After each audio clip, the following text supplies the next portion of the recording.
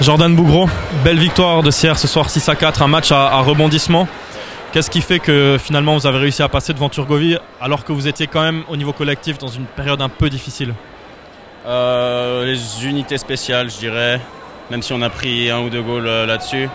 Le powerplay, il a, fait- il, a, il a vraiment fait la différence aujourd'hui et ça nous a bien aidé. T'es sur ce premier powerplay Aujourd'hui t'étais avec Maxime, Arnaud, il y avait aussi Emerton et Castonguay.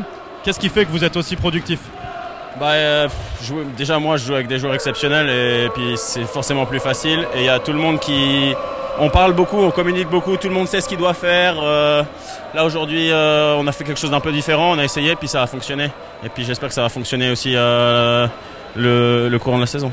Pas tes deux plus beaux buts de, de ta carrière, mais des buts très importants. Exactement.